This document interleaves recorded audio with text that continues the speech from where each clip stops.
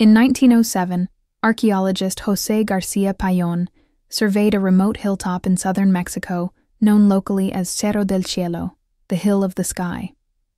At its summit stood a ring of carved basalt pillars arranged in a near perfect circle. At first, the site was catalogued as a ceremonial platform of the pre classic era. Only decades later did researchers realize they were looking at something far more precise. Each pillar cast a shadow that aligned with specific solar and lunar positions, forming an ancient observatory older than many Maya cities. When astronomers reconstructed the alignments, they made an astonishing discovery. The pillars marked not just solstices and equinoxes, but the lunar standstill cycle, a phenomenon occurring only once every 18.6 years.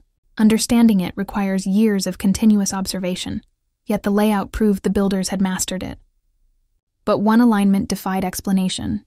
A narrow sightline formed by two eastern pillars pointed to a celestial event that should have been impossible for its time. A solar eclipse recorded on a date when no eclipse was visible anywhere in Mesoamerica, according to modern NASA calculations. The anomaly puzzled researchers until they examined weathering on the stone. The pillars had been moved twice, subtle shifts preserved as abrasion marks. When the original configuration was digitally restored, the sightline pointed instead to an eclipse that was visible in the region, but nearly a century earlier than the settlement's accepted founding date. Either the observatory was older than previously believed, or its designers preserved astronomical knowledge inherited from a vanished tradition. Nearby pottery and carbon dated charcoal place activity at Cerro del Cielo as early as 800 BCE. Centuries before the rise of the major Maya observatories like Uaxactun. Yet the hilltop ring incorporates calculations considered advanced even in the classic period. Its builders recorded the oscillation of the moon, tracked eclipse seasons, and preserved a memory of a rare solar event they could not have witnessed themselves.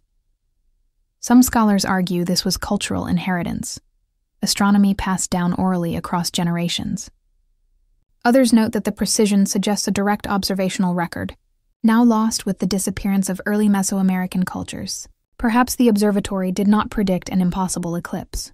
Perhaps it remembered one, long after its witnesses were gone. Hi, it's Chini. Thanks for watching. Don't forget to like, follow, or subscribe to get notified when a new story drops. It's also the best way to support our channel.